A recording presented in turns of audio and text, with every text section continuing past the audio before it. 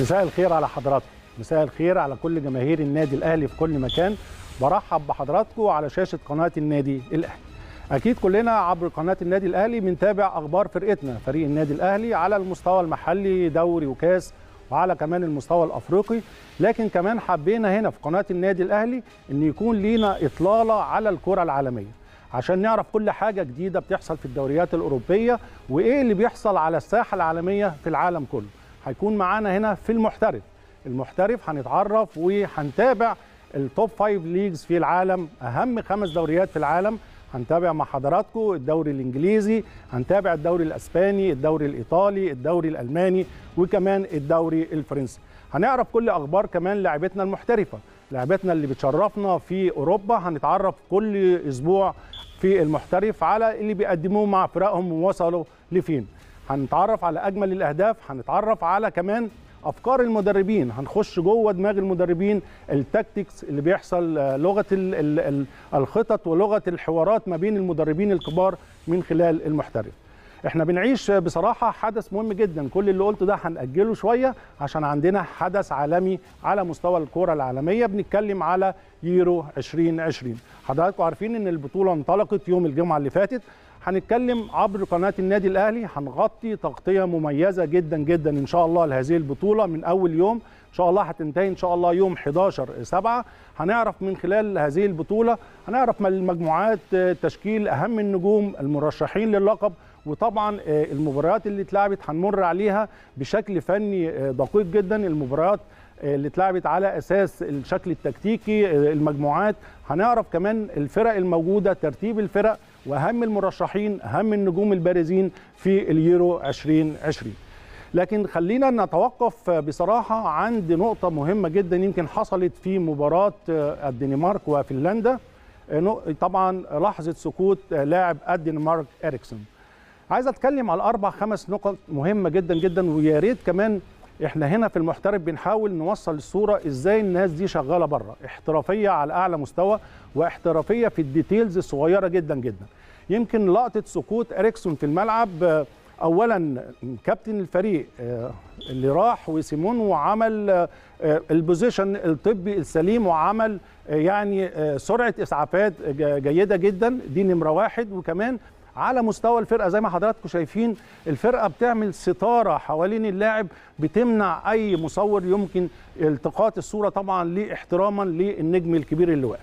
ده على مستوى الكابتن وعلى مستوى اللاعبين. نيجي كمان على مستوى الإدارة الطبية. قد إيه المسعفين نزلوا بسرعة فائقة جدا. التناغم ما بين الأجهزة الطبية ما بين فريق الدنمارك وما بين الدكتور وإزاي إن اشتغلوا 20 دقيقة بيحاولوا إنقاذ هذا اللاعب. كمان نيجي على مستوى الجماهير بتتكلم على المستوى الجماهيري الجماهير كلها في هدوء تام في ترقب واضح للاطمئنان على النجم الكبير. وكمان على مستوى التنظيم بنتكلم على تنظيم البطولة نفسه إن كمان الويفا قالت للجماهير بتستنى إن إحنا بنتابع حالة اللعيب بشكل دقيق لغاية ما اطمنت على حالة اللعيب وعودته إلى الحياة بشكل بشكل رائع وقالت هنستكمل المباراة. آخر آخر نقطة بتكلم فيها ويا ريت نتعلم منها مخرج المباراة. مخرج المباراة كان يمكن في جو ال social media اللي إحنا عايشينه دلوقتي واللقطة والترند كان ممكن جدا يركز ويعيد لقطة سقوط اريكسن على أرضية الملعب لأن الناس العالم كله لكن احترام المهنية زي ما بنتكلم على العالم الاحتراف في كرة القدم كمان جزء الإخراج عليه عامل مهم جدا إن مخرج المباراة يمكن ما قعدش خالص لقطة سقوط إريكسون خلال خلال وقوعه في الملعب. عايز بقول لحضراتكم التعامل باحترافية شديدة جدا جدا جدا في هذا الموقف. يمكن الموقف ده العالم تابعه لكن نقط مهمة جدا لازم نخرج بيها ونتعلم منها. إحنا دايما بنحاول نتعلم للأفضل نحاول نوصل للبروفيشنال للحياة الاحترافية الحقيقية وإن شاء الله هنتابع كل ده من خلال المحترف.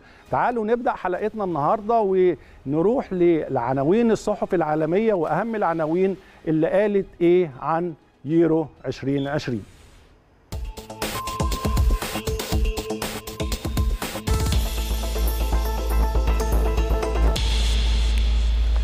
نبدأ جولتنا العالمية في الصحف العالمية عن يورو 2020 من أسبانيا.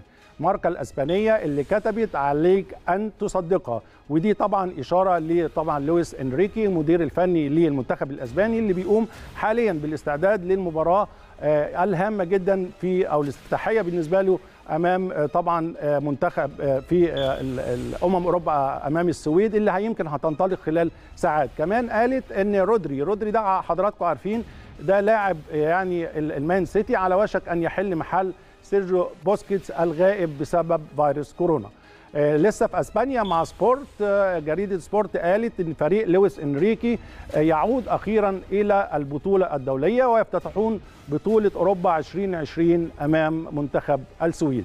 موندو ديبورتيفو الأسبانية قالت ساعة منتخب منتخب أسبانيا. في إشارة طبعا ليها لمنتخب أسبانيا واستعداداته أمام طبعا للمباراة المهمة أمام منتخب السويد في نهائيات أمم 2020. لسه في أسبانيا مع اسي الأسبانية اللي كتبت عنوان كان ميتا وده طبعا في إشارة للحدث اللي يمكن جذب أنظار العالم كله وهو ما حدث للدنمارك طبعا كريستيان إريكسن وتصريحات طبيب المنتخب الدنماركي نروح لإنجلترا. ذا سان البريطانية عنوان كبير جدا بتقول فيه سحر أقدام إنجلترا. أشارت إن طبعا رحيم ستيرلينج حقق الفوز بعد أيام من حصوله على وسام من من ملكة بريطانيا. دي طبعا ديلي ميل البريطانية قالت برضو أداء من الدرجة الأولى. First class first class ده كان العنوان الكبير لهذه الجريدة. ووصفها لأداء منتخب إنجلترا اللي حقق طبعا انتصار مهم جدا في اللقاء الافتتاحي في يورو للمرة الأولى. كمان الصحيفة كتبت ستيرلينج بيسجل هدفه الأول في بطولة كبيرة مع المنتخب الإنجليزي. آه لسه في إنجلترا مع ميرور الإنجليزية بتقول منتخب إنجلترا آه ساحر ورائع. قالت الجريدة إن ستيرلينج بيحقق حلم حياته بعد طبعا أيام من حصوله على الوسام. والنجم ستيرلينج بيصنع التاريخ وبيحقق انتصارات للأسود الثلاثه نروح لإيطاليا وطبعا لاجازيتا ديلو سبورت الإيطالية الصحيفة الكبيرة. ما بين قوسين شكرا لكم. لن أستسلم. دي طبعا سلطت الضوء على تصريحات طبعا إريكسن في المستشفى واللي قال من خلالها أنا بخير أريد أن أفهم ما حدث ويمكن أشارت إلى أن هذا الطبيب الدنماركي قال لقد مات وأنقذناه. ده طبعا على طبعا صحيفة كوريري ديلو سبورت دي طبعا الإيطالية. عنوان بيقول لا أحد مثل إيطاليا. بيتركز الصحيفة على طبعا فوز المنتخب إنجلترا أمام كرواتيا 1-0 وهولندا على أوكرانيا 3-2 في نهائيات أمم أوروبا 2020 وكتبت لا أحد مثل إيطاليا. نروح لفرنسا وطبعا الجريدة الكيب الفرنسية ما بين قوسين كده بتقول هولندا يعني تلهث تماما.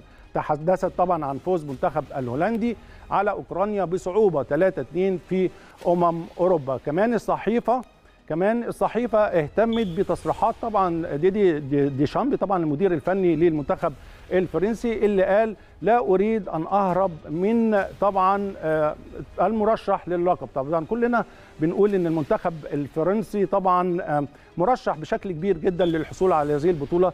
كمان يعني في بعض المنتخبات من خلال المحترف هنتعرف على مرشحين من أهم الفرق المرشحة للفوز بهذه البطولة. خلصت أخبارنا والعناوين الصحف العالمية. هنروح لفاصل وبعد الفاصل نخش في أجواء أمم أوروبا 2020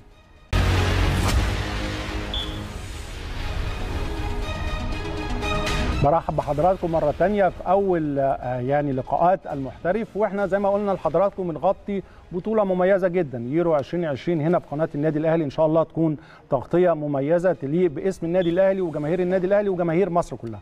وعشان دي بطولة مميزة لازم يكون في أول ضيف معانا في المحترف كمان نجم مميز على مستوى النقد الرياضي وعلى مستوى التحليل الفني. معايا ومع حضراتكم بنرحب بيه طبعا كريم سعيد. كريم مساء الخير عليك.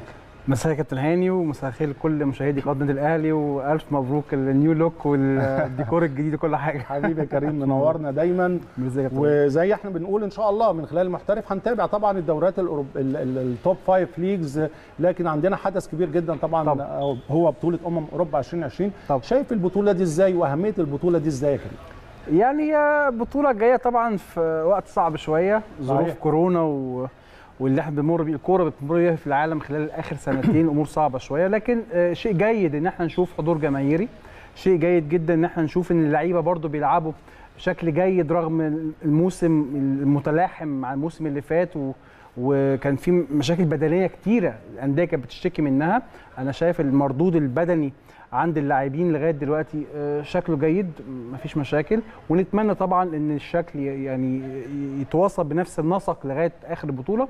وربما حت بالنسبة لنا على المستوى الشخصي اقامه البطولة في 11 مباراة في 11 مدينة مختلفة. ربما مش عامل لها ايدنتيتي واحد مش عامل لها شكل واحد لأن الملاعب برضه يا كابتن هنا أنت عارف يعني بتتلعب البطولة في بلد واحدة بتديها شكل ليها معين. شكل مختلف لكن إنما يعني 11 مدينة يعني صحيح. هو أمر استثنائي طبعا عشان الاحتفالات للاتحاد الاوروبي مفيش مشكلة يعني تعدي يعني مفيش هنعدي وإحنا كمان معاك يا كريم إن شاء الله هنتكلم طبعا. بالتفصيل طبعا عن يورو إن شاء الله، 2020 إن شاء كمان. هنتكلم على تاريخ البطولة أكيد. لكن قبل ما نتكلم ونخش في البطولة 2020 نعم. معانا ضيف مميز جدا جدا كان ليه خبرات على مستوى طبعا الدوري البلجيكي ومنتخب بلجيكا وليه صولات وجولات مع المنتخب البلجيكي ويعني لعب آه، اثنين نسخة كأس عالم و64 مباراة دولية معانا عبر زوم طبعا آه، المدرب الكبير آه، فرانكي فيركراو- آه، فيركراوتن. بنرحب بيه على شاشة قناة النادي الأهلي وهنتكلم معاه على بطولة أوروبا بشكل مميز جدا ونعرف خبراته ورؤيته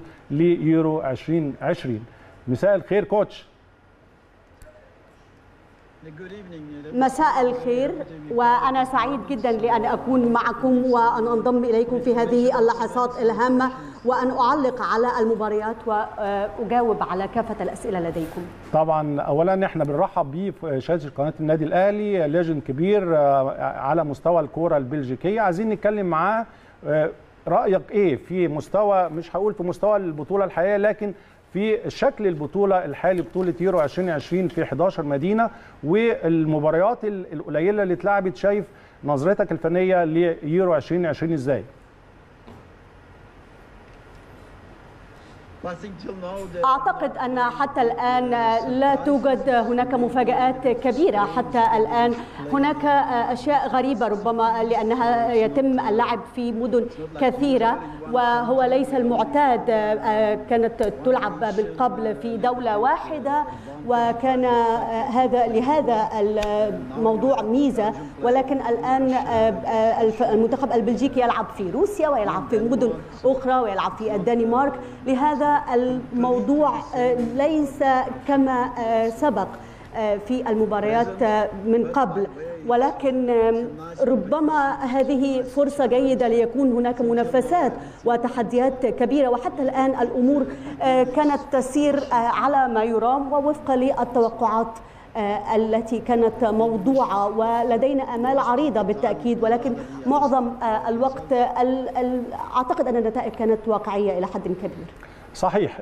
طبعا على مستوى المنتخب البلجيكي و64 مباراة دولية اثنين نسخة كأس عالم ومباريات كثيرة في أمم أوروبا على مستوى career ال career ك. لكن عايزين نعرف كمان رؤيتك والفوز الكبير لمنتخب بلجيكا في انطلاقة اليورو 2020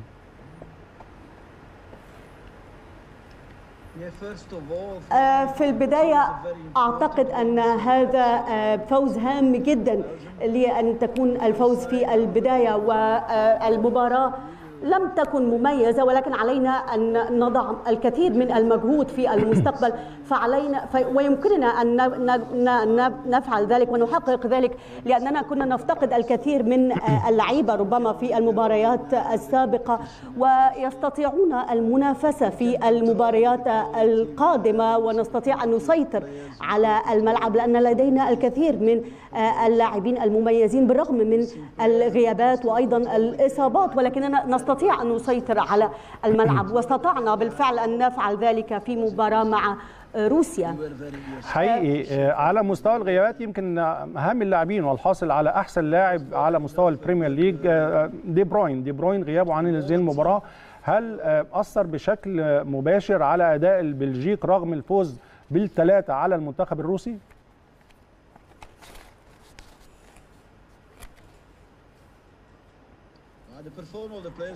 أداء اللاعبين كان بالقدر الكافي والقدر الكفء في الحقيقة وضعنا خطط كانت هناك خطة مميزة وكانت هناك الكثير من الفرص. لم يكن لم نكن نريد أكثر من ذلك حتى نحقق الفوز في الحقيقة. اللاعبين قاموا بما يمكن أن يفعلوه بكل كفاءة وبكل واقعية وكانوا متواجدون وحاضرون على أرض الملعب. ربما في المباريات القادمة سيقدمون المزيد. آخر سؤال عايزين نعرف كمان على مستوى التهديف. لوكاكو طبعا نجم الإنتر وإحرازه هدفين. طبعا ولوكاكو على مستوى السيريا. آه أحرز 24 هدف في هذا الموسم. هل من خلال الانطلاقة القوية للوكاكو هل يعتقد أو هل تعتقد إن هيكون لوكاكو هو هداف بطولة أمم أوروبا 2020 أعتقد ذلك. ففي البداية لديه قدرات. هائلة وقدم مباريات جيدة حتى الآن ولديه إمكانيات ولديه قدرات ولديه مهارات وهو جزء من فريق هام جدا وفريق كبير يستطيع أن يقدم المزيد ويستطيع أن يحرز نتائج هائلة وكل مدى يستطيع أن يقدم المزيد. فلهذا أنا أعتقد إذا استمر بهذا الأداء الجيد فيستطيع بالتأكيد أن ينافس على لقب هداف البطولة. فهو أيضا يلعب ضمن صفوف فريق يعمل وفق الخطة الموضوعة ووفقا للمعطيات الواقعية. وهناك العديد من الأشياء التي يمكن إذا وضعناها في الحسبان سيحقق هذه النتيجة. طبعا فرانجي المدير الفني السابق للمنتخب البلجيكي بنشكر وجودك معنا على قناة النادي الأهلي وإن شاء الله في لقاءات إن شاء الله جاية كتير في هنا معنا في المحترف. شكرا جزيلا. كريم يعني هاخدك للجزئية اللي اتكلمنا عليها مع فرانكي وبنتكلم على المنتخب البلجيكي رغم الغيابات الكتيرة وعلى رأسهم طبعا دي, دي بروين لكن قدم مباراة قوية جدا جدا. هنتكلم على كل الماتشات وهنخش في أعماق البطولة لكن هاخد تعليق على ما قالوا يعني اللي قاله فرانكي على المنتخب البلجيكي. هو طبعا لا المنتخب البلجيكي بنتكلم على منتخب الفرقة دي بتلعب مع بعض بقى لها حوالي أعتقد دلوقتي أربع سنوات يا كابتن هاني والفرقة القوام بتاعها لحد ما ثابت وكمان اللعيبة خدوا خبرات كبيرة بنتكلم على المنتخب كمرشح بشكل كبير في مونديال روسيا الأخير في 2018 إن هو كان يوصل لما ما بعد دور ممكن فاينل كمان كان ممكن ياخد البطولة كمان. إنما طبعا الفرقة دي أكيد اكتسبت خبرات كتيرة وشفنا حتى مباراة روسيا رغم بيلعبوا قدام المنتخب الروسي في وسط أرضه مفيش أي مشكلة خالص. إن هم يقدروا يتقدموا في البداية. وكمان كان ممكن المباراة تخلص بصراحة صحيح. كم فرص هائل ضاع في الشوط الأول. فأعتقد كريم إحنا أنا عارف أنت بتحب التكتيكس نعم. والأرقام والإحصائيات. نعم. فكل دوت طب كل ده هنجيله. كمان جمهور النادي الأهلي بيحب التكتيك وبيحب الأرقام والإحصائيات. هن هن يعني زي ما بنقول كده هنغوص في أمم أوروبا 2020 لكن تعالوا مع بعض نشوف. كل بطولة بيبقى جاية من فكرة. فكرة بطولة أوروبا 2020 نشوفها مع حضراتكم ونرجع مع المحترف رجعنا مع حضراتكم في المحترف كريم من خلال التقرير اللي شفناه يمكن بطولة عريقة بطولة كبيرة جدا يمكن على مستوى التصنيف في أعتقد ثالث بطولة على مستوى القوة بعد الاولمبياد وبعد كأس العالم طبعا. بتيجي بطولة أوروبا يعني. ويمكن كمان في وجهة نظري والله يا كابتن هاني تيجي قبل الأولمبياد كمان.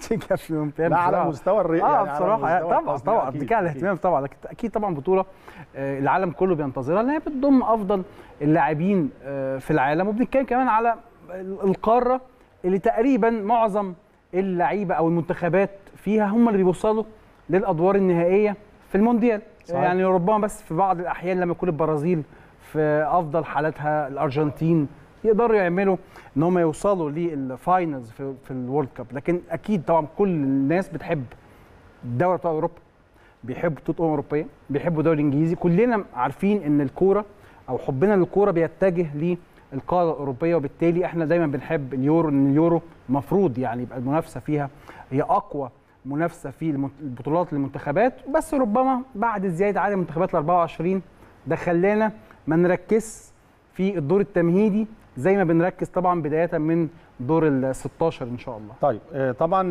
زي ما أنت عارف يا كريم البطولة انطلقت طبعا يوم الجمعة اللي فات بطولة اليورو 2020 بعد تأجيل سنة أكيد آه، يعني آه، بطولة مهمة جدا بطولة بدايتها واضح إنها هتكون بطولة آه، نستمتع بيها كلنا على المستوى الفني وعلى المستوى التكتيكي وعلى مستوى جمال كرة القدم معانا تقرير عن انطلاق اليورو 2020 بعد سنة من تأجيلها أهلا بحضراتكم مرة تانية. برحب بحضراتكم وبرحب بضيفي كريم. آه، نخش على طول في أجواء البطولة. ست نعم. زي ما أنت بتقول 24 فريق ست مجموعات كل مجموعة آه، ست فرق. تعالى أنا وأنت نستعرض المجموعات آه، الستة ونتكلم بشكل يمكن سريع شوية نعم. أقوى الفرق الموجودة المرشحة للدور الثاني مين؟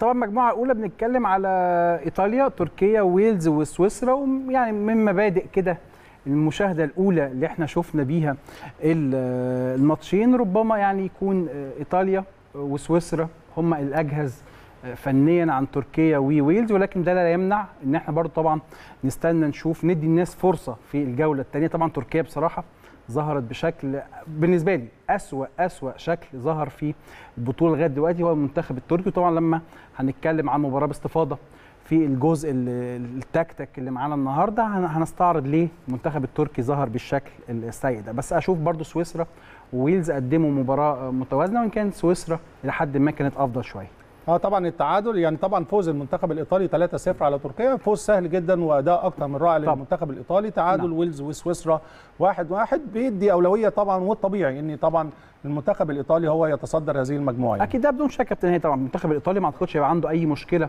في تصدر هذه المجموعة المنافسة هتبقى على المركز الثاني وأكيد طبعا إحنا بنتكلم إن إحنا في الناس بتنسى إن البطولة هيتأهل منها أفضل أربع صحيح. ثوالث من الست مجموعات يعني. لو تفتكروا ده النظام يا كابتن هاني طبعا مونديال 90 في إيطاليا كان نفس. النظام بالظبط 24 منتخب وحتى إحنا يعني كنا يعني حظنا يا سيء. كريم، حظنا كان يعني. سيء قوي إن إحنا ما لحقناش أفضل ثوالث ولكن طيب تعال نروح على المجموعة الثانية المجموعة الثانية بلجيكا وفنلند والدنمارك وروسيا. وطبعا زي برضو بقى اتكلمنا عن المنتخب الإيطالي. أعتقد المنتخب البلجيكي على نفس المنوال مش هيبقى عنده أي مشكلة خالص في تصدر هذه المجموعة. والوصفه أعتقد في وجهة نظري هتبقى ما بين آه، فنلندا و- آه، وروسيا والدنمارك وإن كان يعني فنلندا طبعا الانتصار اللي حققوه إداها على. الدنمارك طبعا ولكن بصراحة طبعا. حالة إريكسن ربما تخرج المنتخب الدنماركي من البطولة نفسيا ومعنويا شوية يعني. طبعا بعد إصابة إريكسون حتى على المستوى المعنوي أعتقد منتخب الدنمارك اللي حقق قبل كده مفاجأة كبيرة جدا بالحصول على اليورو يمكن كان. بعد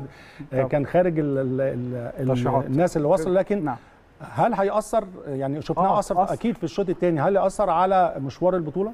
آه في وجهة نظري تأثر جامد جدا. حتى تخلي يعني ما فيش أي تارجت مطلوب من اللعيبة. الموقف كان صعب وبيشوفوا زميلهم يعني بيحصل له الحادثة دي في المباراة وشفنا ال- الموقف ده أثر على العالم كله.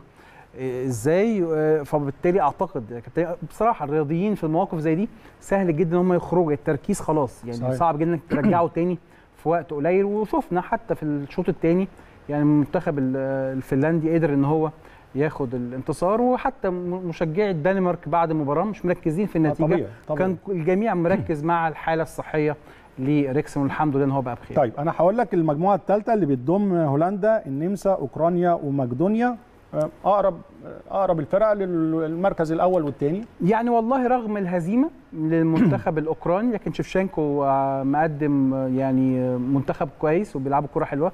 يارملينكو جاب هدف واحد أعتقد من أحلى الأهداف لغاية دلوقتي في البطولة. طبعا بعد هدف باتريك تشيك. طبعا اللي شفناه النهارده هدف خرافي. طب من المجموعة دي يا كريم بتقول آه، هولندا؟ نعم هولندا. آه أفتكر هولندا. والمنافسه ما بين النمسا وأوكرانيا. وبين أوكرانيا. طب المجموعة الرابعة آه، مجموعة أعتقد برضو مجموعة قوية مش سهلة. جدا. آه، إنجلترا كرواتيا تشيك اسكتلندا. أنا في وجهة نظري تشيك قلبت الأوراق لأن كده كان أصلا ديربي ما بين إنجلترا وإسكتلندا بيبقى خارج أي أمور. فن... آه اخر أي حسابات. ده خ... ده لوحده كده ماتش لوحده كده. فبالتالي أعتقد إن فوز تشيك النهارده قلب الأوراق في المجموعة دي. وإن كنت أشوف إنجلترا هتبقى متصدرة والمنافسة على المركز الثاني والثالث في المجموعة دي أعتقد هيتاخد منها أفضل ثالث طيب نروح للمجموعة الخامسة أسبانيا بولندا السويد السويد وسلوفاكيا. طبعا سلوفاكيا منذ دقائق قليلة فاجئتنا بالفوز على ليفاندوفسكي وزملائه. اللي هم تحت مسمى المنتخب البولندي تقدر تقول أول مفاجآت اليورو؟ طبعا في وجهة نظر طبعا ليفاندوفسكي المفروض يعني يعني وبولندا فرقة كويسة بولندا. فرقة طبعا كويسة جدا. أشوف كان ممكن الفريق يبقى بيكسب بسهولة لكن سلوفاكيا فاجئتنا النهارده بإن هي برضو لخبطت الورق بتاع المجموعة دي. استنى طبعا أشوف ماتش السويد وأسبانيا. ماتش أسبانيا المفروض هيبقى عندها أفضلية فيه. كنت أتوقع إن زلاتان لو كان انضم لمنتخب السويد كان ممكن يعمل فارق خصوصا في موضوع الخبرة بس أشوف إن إسبانيا هتتصدر والمنافسة هتبقى ما بين آه، سلوفاكيا آه، وبولندا. طبعا المجموعة السادسة طبعا المجموعة الموت زي ما بيقولوا. بلغة الكورة. مجموعة قوية جدا طبعا بتضم فرنسا ألمانيا البرتغال والمجر. تتوقع خلينا برضو ماشيين تتوقع مين أول وثاني المجموعة؟ أشوف آه، فرنسا متجهة تصدر المجموعة وألمانيا هتبقى الوصيف والبرتغال طبعا في وجود كريستيانو رونالدو وكريستيانو رونالدو في آخر ثلاث سنين تقريبا بيلعب بالخبرة. حتى شفناه لما قاد البرتغال لدوري الأمم الأوروبية بالخبرة. الفريق كان متعادل يعني ما فيش يعني بصراحه حتى في المونديال برضو. يعني الفريق فعلا بيقدر يلعب بالخبرة أكتر ما بيلعب بالمستوى الفني. فأشوف البرتغال ممكن تسعى لحسم بطاقة أفضل ثوالث. تمام. آه كريم عندنا فاصل سريع. هنطلع فاصل سريع جدا وبعد الفاصل هنرجع مع كريم. نخش بقى في المباريات تحليل المباريات نتائج المباريات على مستوى البطولة لغاية دلوقتي لكن بعد الفاصل.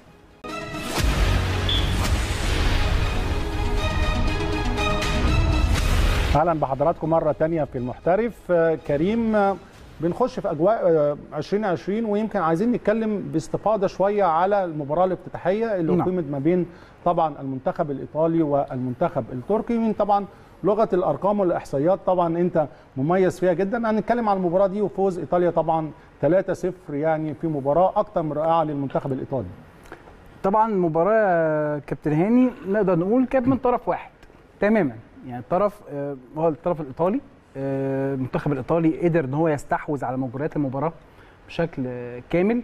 يكفي إن أنا أقول لك إن ثلاث لعيبة من إيطاليا سددوا أكتر تسديدات على المرمى من فريق تركيا بالكامل ف آه، آه، بصراحة الأرقام بتقول ما فيش أي مقارنة ما بين الفرقتين. يعني مثلا هو مثلا على الشاشة قدامنا الفرص بنتكلم تسع فرص تسع فرص طبعا. المنتخب الايطالي ثلاثة صحيح. على المرمى. المنتخب التركي عمل هجمتين والاثنين ما قدرش هو يهدد المرمى آه، فيهم. الأهداف المتوقعة أو الاكس جي بنتكلم 1.9 1.9 قريب من هدفين يعني. لا ده- 1.9 لايطاليا مقابل 0.3 المنتخب التركي ده بيوضح لنا طبعا الفجوة الفنية اللي كانت شفناها في. المباراة.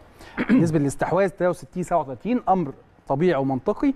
وطبعا التمريرات بنتكلم تقريبا الدبل 669 تمريرة كتوتال للمنتخب الإيطالي مقابل 386 تمريرة للمنتخب ال- التركي. بصراحة كأن المنتخب التركي ما راحش ملعب الأولمبيكو ويعني ربما يكون يلمس بس هو الأمانة الوحيد اللي كان حاول بيحاول يعني يعمل. شكل هجومي.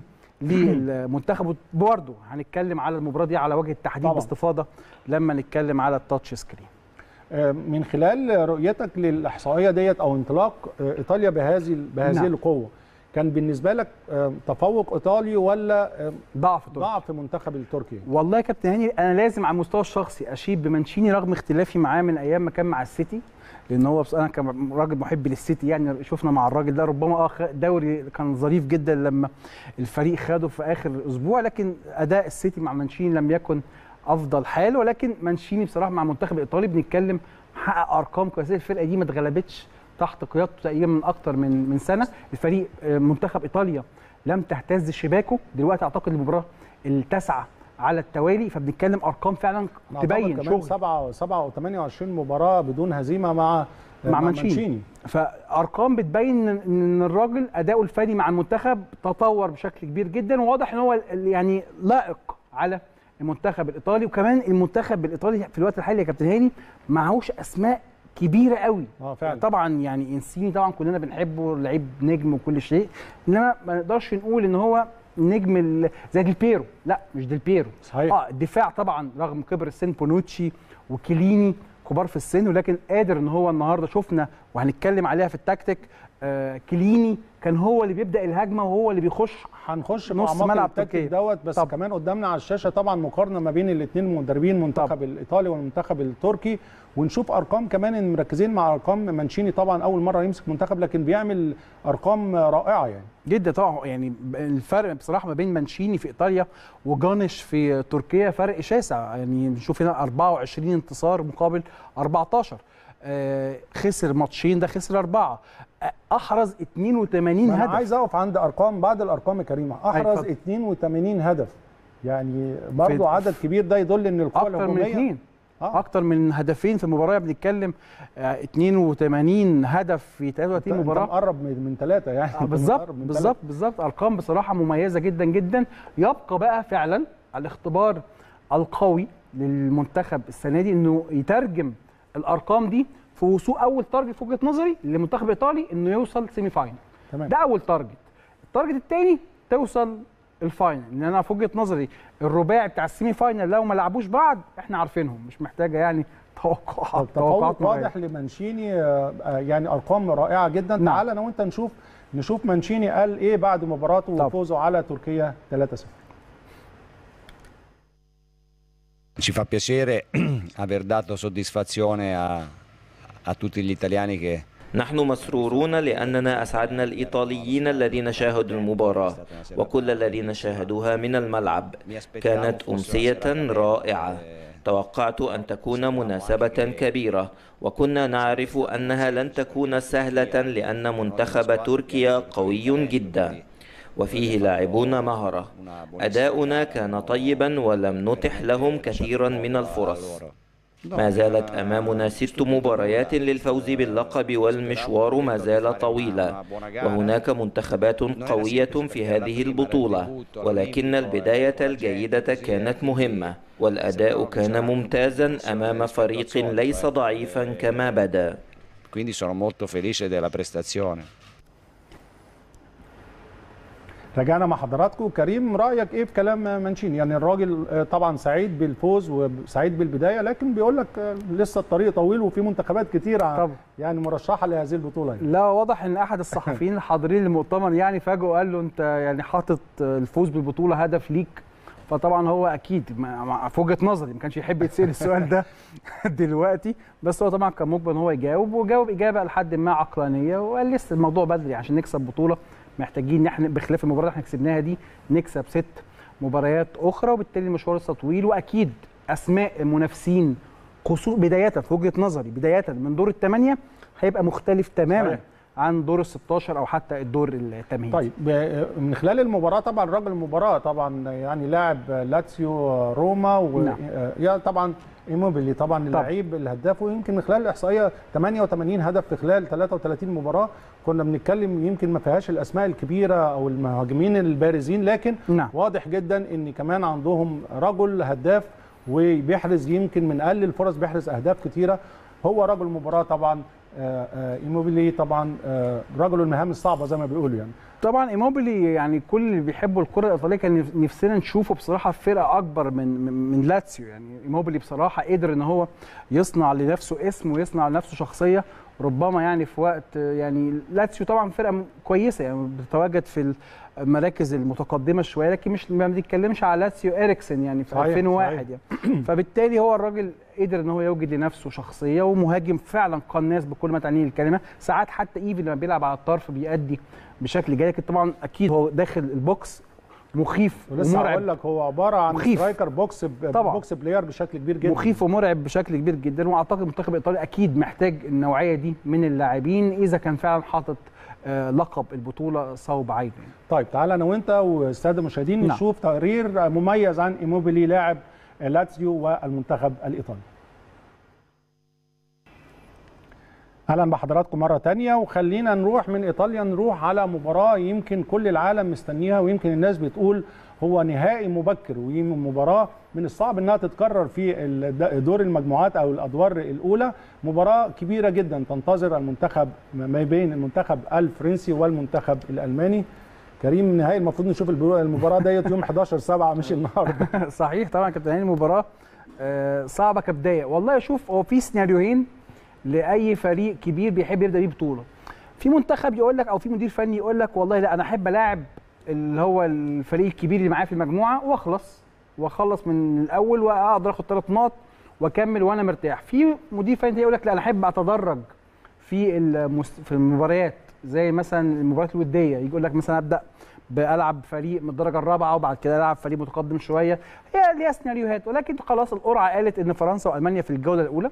فيوخيم لوف وديشام الاثنين مضطرين إن هم يطلعوا أفضل ما عندهم مباراة في. ميونخ يعني المنتخب الألماني هيبقى معاه طبعا مساعدة آه، جماهيرية وإن كان المنتخب الفرنسي يعني في- أعتقد في آخر خمس مباريات مع ألمانيا في ألمانيا ما خسرش. وكمان المنتخب بنتكلم المنتخب الفرنسي حامل لقب مونديال وصيف اليورو الفريق اللي في وجهة نظري ال squad بتاعته ممكن أي مدير فني يقول لك أنا اعمل منها منتخبين يعني سهل جدا من. ال squad ده اعمل منه منتخبين. ففي وجهة نظري squad فرنسا أفضل بكتير من قائمة آه، ألمانيا.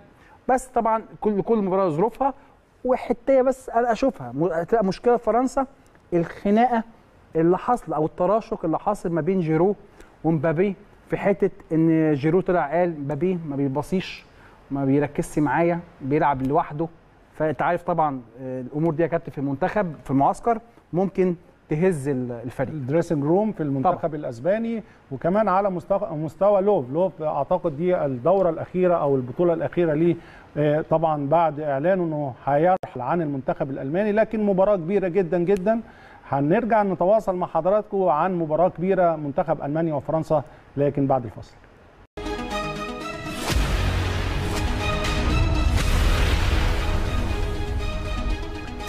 برحب بحضراتكم مرة تانية في المحترف. كريم كنا بنتكلم على مباراة قوية جدا. الناس كلها بتنتظرها ألمانيا وفرنسا. تعال أنا وأنت والسادة المشاهدين نروح نشوف مشوار ألمانيا للوصول لأمم أفريقيا آه، 2020 كان عامل إزاي من خلال النتائج ومن خلال الأرقام؟ كانت يمكن آه، ألمانيا من الفرق المرشحة ما فيش شك يعني طبعا. للوصول للمباراة النهائية. هنجي عايزين نشوف مع حضراتكم ونشوف مع كريم آه، إحصائية بتشوف مشوار المنتخب الألماني للوصول ليورو 2020 عامل إزاي؟ ونبدأ نتكلم مع كريم في بعض الأرقام ومن خلال الأرقام دي هنطلع مشوار يعني إن شاء الله أكيد. أنا بح... أنتوا عارفين بحب ألمانيا جدا ومشجع ألمانيا يكون ألمانيا موجودة في النهائي. نشوف الأرقام معاك يا كريم والاحصائيات ده طبعا كان مشوار منتخب ألمانيا للوصول ليورو 2020 كريم تعليق وطبعا أكيد المشوار المنتخب الألماني إن هو يوصل لليورو ده أمر طبيعي لكن في وجهة نظري ال- النهاية الحتمية لعلاقة ألمانيا بيوخيم لوف كان لازم تنتهي بعد البطولة دي. بنتكلم على منتخب خرج من semi final يورو 2016 دور المجموعات المونديال طبعا في كان خروج مؤ- مؤسف للفريق. هزيمة يعني مؤسفة قدام المنتخب الإسباني نوفمبر الماضي 6-0 هزيمة مخجلة قدام مقدونيا في إبريل 2-1 في تصفيات المونديال. فكان طبيعي جدا جدا جدا إن هانز فليك لازم يجي بعد آه، بطولة اليورو ايا كان النتيجة اللي هيخرج بيها المنتخب. طبعا مشوار طبعا نروح بقى لمشوار فرنسا كتيبة ديشامب إزاي وصلت ليورو 2020 نشوف ونرجع مع حضراتكم. ده كان طبعا مشوار المنتخب الفرنسي والألماني للوصول ليورو 2020 كريم كل منتخب وخاصة آه، حراسة المرمى بيكون ليها يعني آه، يعني position خاص جدا جدا. نعم. وزي ما بنقول حراسة المرمى دايما في ألمانيا بتبقى حراسات على مر العصور نجوم كبار جدا جدا. صحيح. نوير على المستوى على مستوى الأرقام على مستوى الإحصائيات على مستوى مدرسة نوير وصوله لسن 35 سنة نعم. آه، طبعا نوير أحد أساطير حراسة المرمى في العالم اسمه بيتحط جنب بوفون جنب ياشين جنب داسايف يعني كل الحراس الكبار التاريخيين دول نوير أكيد بيتحط جنبهم وهيبقى له شابتر أو له فصل في أي كتاب بيتكتب بعد كده عن حراسة المرمى بنتكلم يعني لاعب خاض أكتر من 100 مباراة مع المنتخب الألماني يعني دخل في نادي ال 100 آه، clean sheet آه، 43 مباراة. آه، أصلا نوير الواحد يشوفه قدامه يترعب يعني.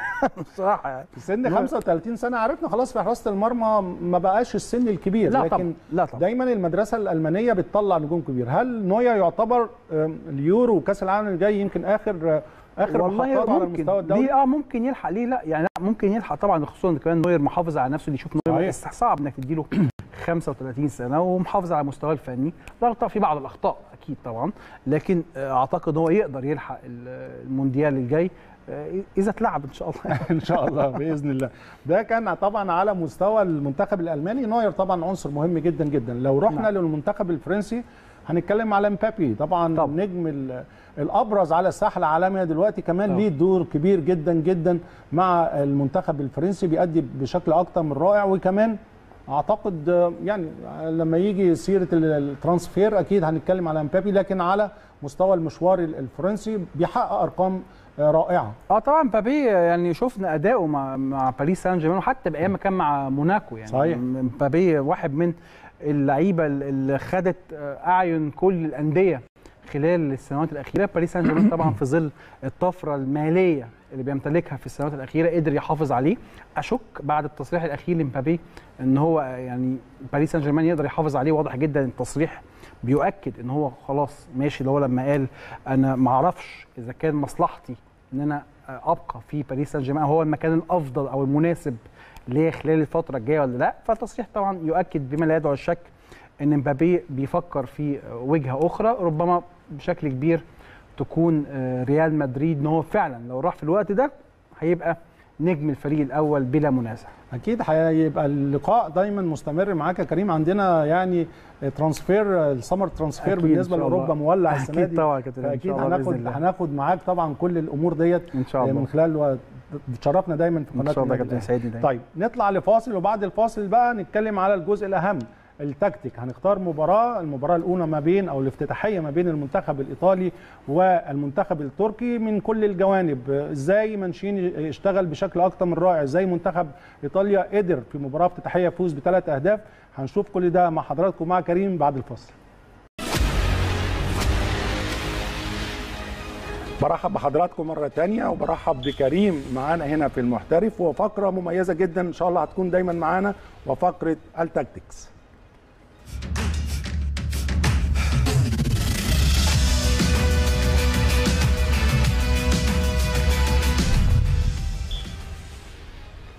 أهلا بحضراتكم مره تانية برحب بيك يا كريم. فقرة مميزة بالنسبة لك وانت آه، طبعا. آه، يعني فوز المنتخب نعم. الإيطالي على المنتخب التركي ما كانش بالصدفة كان في تكتيك معين بيعمله مانشيني أدى على تفوق المنتخب الإيطالي نعم في وجهة نظري المباراة دي هي ربما أكتر مباراة شفنا فيها شغل من مدير فني وشغل واضح وبيتكرر كتير في المباراة بداية من الشوط الأول انتهاء بالشوط الثاني وتحقيق الهدف اللي كان الفريق عايزه. هي الفكرة ببساطة كابتن هاني المنتخب تركيا في بداية المباراة في وجهة نظري ارتكب أكبر غلطة ساذجة ممكن أي منتخب يفكر إن هو يعملها في بطولة قارية إن أنت كل تركيزك يبقى إنك عايز تقفل على الفريق قدامك وال play maker في واضح جدا بيلعبوا بعمق دفاعي بزيادة عن اللزوم يعني. بالظبط. كده. وبالتالي شفنا إن الفريق المنتخب الإيطالي خد الأطراف يعني من اليمين والشمال سبينازولا وف- وفلورنزي وإنسيني وبيراردي احتلوا الطرفين الأيمن والأيسر ونوعوا.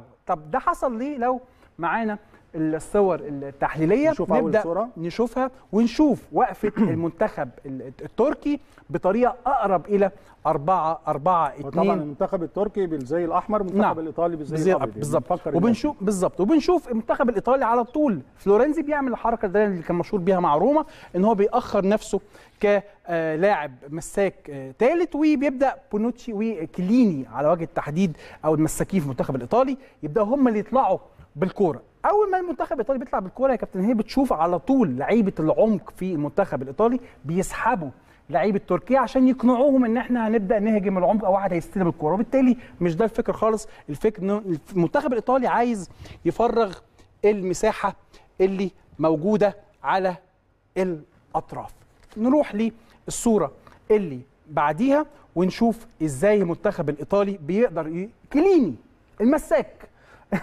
المساك اللي عنده 36 سنة بالظبط 36 سنة بالظبط. الراجل طالع وخد المساحة اللي إحنا كنا بنشاور عليها بعد ما آه، فريق المنتخب الإيطالي بدأ يسحب ويسرقوا المنتخب التركي في عمق الملعب عشان يفضوا المساحة تماما لكيليني بيشوف مساحة شاسعة قدام. كيليني هو يقدر يمر وعنده كمان كام option تمرير يا كابتن هاني الكريم كمان نعم. إن مع ملاحظة إن كمان دخول اللاعب بيحاول يدخلوا لاعب تركيا اللي جوه طبعا. يعني لو شفنا لاعب تركيا بيخش بشكل مباشر يعني أيوة. المفروض ده يكون لبره لا ده هو بيدخله لجوه بشكل بشكل مميز نعم. وبالتالي بتتخلق المساحات اللي انت بتقول عليها للباك اليمين عنده مساحة يقدر يشتغل فيها بشكل كبير جدا وده اللي ده اللي كان بيعمله مانشيني إنه بيحاول يفضل المساحات على الأطراف يعني بالظبط وده بالظبط اللي إحنا هنشوفه كلام كابتن هاني في الصور القادمة نشوف فلورنزي اللي هو كان متأخر وإزاي بيسرق نفسه واحدة واحدة صحيح. إزاي منطلق للأمام وباريلا طبعا وبيراردي بيسرقوا بقى لجوه بيخشوا جوه ليه عشان يسيبوا له المساحة الكبيرة ياخد الخط لوحده وكمان برده كان باريلا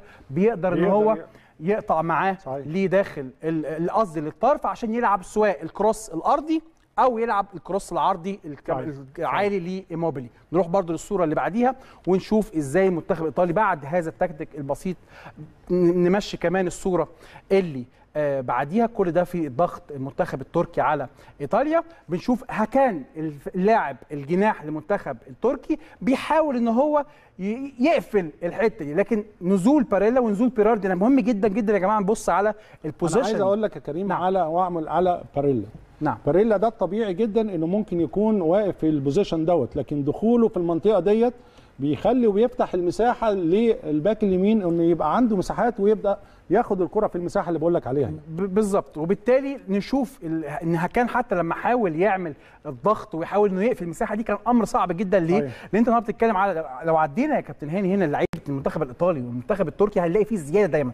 واحد اثنين ثلاثة أربعة قصاد ثلاث لعيبة فأكيد في لعيب يقدر ياخد المساحة الفاضية. نشوف الصورة اللي وراها ونشوف إزاي فعلا المنتخب الإيطالي نجح تماما في خلاص وصل لأهم نقطة في آه، منطقة نص ملعب منتخب تركيا. وبدون مفيش ضغط يعني بنتكلم على في مسافة ما بين باريلا وبين اللاعب اللي بيضغط عليه. ونشوف كمان في إن هو يقدر يلعب الكروس سواء يلعبه بشكل آه، عرضي يلعب لورا في يلعب للعالي هنا اهو. في كذا اوبشن إن هو فعلا. يقدر يلعب الكرة العرضية. ليه؟ لأن ما فيش ضغط شديد عليه. نروح صحيح. نشوف الصورة. اللي وراها ونشوف إزاي برضو التنوع بقى على الجبهة اليسرى. إحنا هنا بنتكلم كل ده على الجبهة اليمنى. لكن في الجبهة اليسرى إنسيني طبعا معانا لعيب أعلى بكتير من صحيح. باريلا واعلى من بيراردي لعيب عالي جدا جدا ويقدر يعمل دور ال play maker ويقدر يعمل دور ال second striker جنب. إيموبيلي وبنشوف هي دايما إنسيني كان على طول ياخد إنسيني طبعا عشان برضو الناس تشوفه طبعا. إنسيني طبعا داخل كمان في العمق لأن إنسيني في فترة من الفترات لما ال open أو ما بيعملوا بداية الهجمة بتلاقيه على الطرف الشمال بالظبط أول. ما بي الكرة بتخش لجوه بيبدأ هو يخش كوسط ملعب وبيفضي كمان المساحة لل back الشمال. بالظبط. وبنفس الأمر برضو هنلاقيه عند آه كيليني. كيليني نفس الفكرة. صحيح. الراجل اللي بيتم الاعتماد عليه في بناء اللعب ودايما لوكاتيلي حتى هو نازل بيود بيدي الكورة لكيليني عشان هو اللي يبدأ ال building up بتاع الفريق. طب تعالى سريعا نعم. نبص إزاي آه، آه، آه، الهدف الثالث للمنتخب الإيطالي في مرمى تركيا. بالظبط. نروح نشوف الهدف وهو ببساطة ترجمة للي كان عايز يعمله إنسيني في الشوط الأول إن هو يخش في المساحة ما بين المساك وما بين ال full back. بنشوف إن إنسيني إزاي النهارده تواجد في الحته وشفناها حتى الشوط الأول. شاف ماتش إيطاليا تركيا. إنسيني في طبعا بداية الهجمة. كان في ضغط شوية ضغط عالي من المنتخب الإيطالي. إيطالي. كل ده ضغط عالي في آه، ستارة اتعملت ستارة اتعمل اتعملت بشكل كويس لكن خطأ من الحارس. الحارس.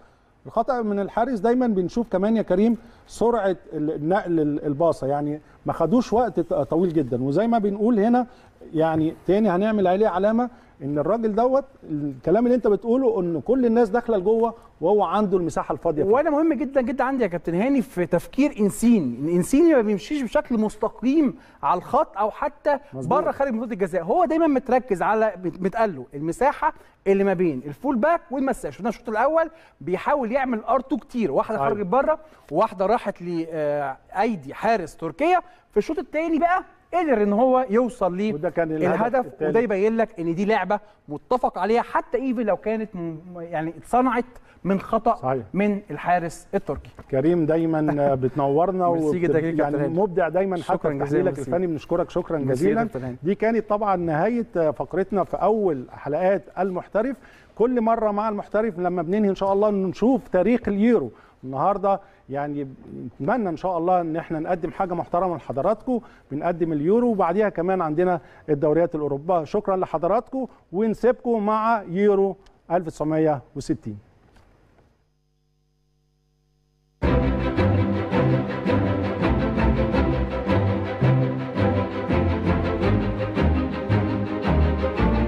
انطلقت كأس أمم أوروبا للمرة الأولى عام 1960 تحت اسم كأس الأمم الأوروبية وهي أول بطولة قارية تقام برعاية الاتحاد الأوروبي لكرة القدم يويفا. اعتمد الاتحاد الأوروبي في تلك البطولة على إجراء تصفيات أولية بين 17 دولة بنظام الذهاب والإياب عام 1958 ثم أقيمت نهائيات البطولة في فرنسا بمشاركة أربعة منتخبات هي تشيكوسلوفاكيا، فرنسا، يوغوسلافيا والاتحاد السوفيتي. توج منتخب الاتحاد السوفيتي بلقب أمم أوروبا عام 1960 بعدما فاز في المباراة النهائية على يوغوسلافيا بنتيجة 2-1 على ملعب بارك دي برنس حديقة الأمراء في العاصمة باريس بينما حصل منتخب تشيكوسلوفاكيا على المركز الثالث وحل منتخب فرنسا رابعا. حصل على لقب هداف البطولة كل من ميلان جاليتش ودرازين يركوفيتش من يوغوسلافيا فرانسوا هوات من فرنسا وفالنتاين إيفانوف وفيكتور بوندلينيك من الاتحاد السوفيتي. وسجل كل منهم هدفين.